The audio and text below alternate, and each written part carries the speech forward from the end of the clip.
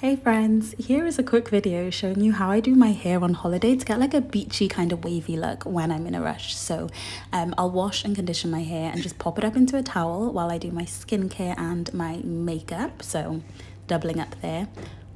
Get that towel off your head and just brush through your no first you apply the serum soz i'm like watching this and remembering but this is something i do all the time you apply the serum just a schmutch, just like a couple, few drops, depending on how much hair and extensions you have.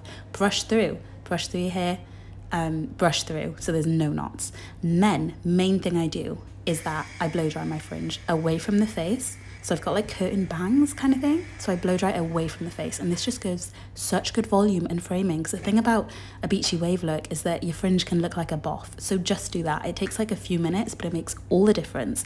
Then I spray this texturizing spray through my hair.